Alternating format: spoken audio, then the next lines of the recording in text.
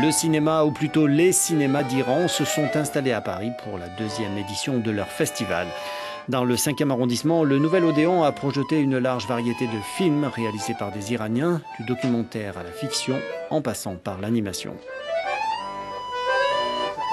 Le festival s'appelle Cinéma d'Iran avec un S entre parenthèses, puisque notre idée, en fait, euh, depuis le début, était de, montrer la production euh, iranienne aussi bien euh, à l'intérieur à travers le cinéma indépendant iranien, mais aussi les films réalisés depuis une dizaine d'années à l'extérieur de l'Iran que l'on montre donc aussi dans ce festival. Donc l'idée était d'établir un dialogue entre le cinéma de l'intérieur et de l'extérieur de l'Iran.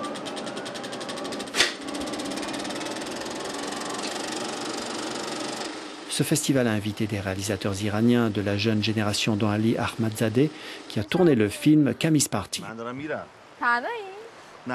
Il s'agit là d'un premier long métrage, un road movie peuplé de jeunes Iraniens qui vont de fête en fête, un film qui n'a jamais reçu d'autorisation de diffusion en Iran.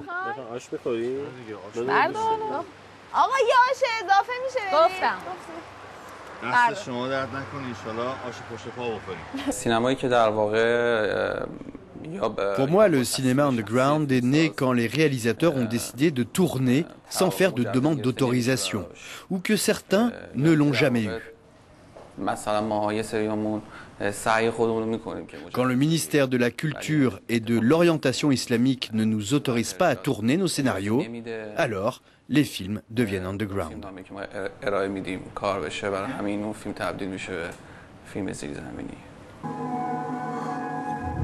La coquille, réalisée par Mostafa Al-Ahmad, raconte l'histoire d'un prisonnier qui était condamné à perpétuité, mais qui est libéré après 14 ans de détention, après que son innocence a été prouvée. Jamais projeté en Iran, il est ici présenté dans une section intitulée Le Salon des refusés.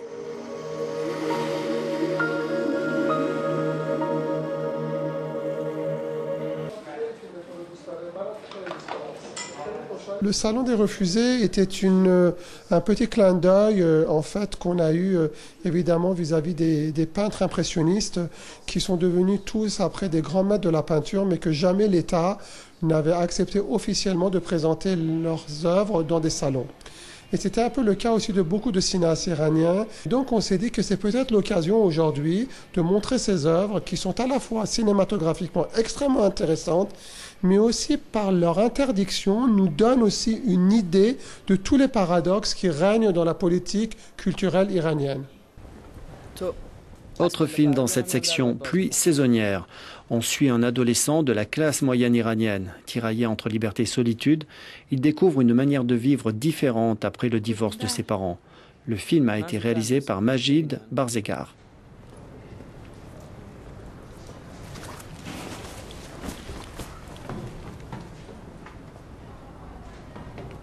Pour produire quoi que ce soit, nous devons demander une permission au ministre de la Culture et de l'orientation islamique, ce que l'on appelle le permis de production. Et quand le film est tourné, on doit le présenter à un autre groupe du même établissement que l'on appelle le Conseil d'autorisation de projection. Ils regardent le film et ils peuvent ne pas donner de permis de projection pour un film qui a pourtant reçu une autorisation de production. Le festival a réuni des films présentant différents points de vue, des films dont la projection n'est pas toujours facile en raison des lois complexes qui régissent l'industrie du cinéma.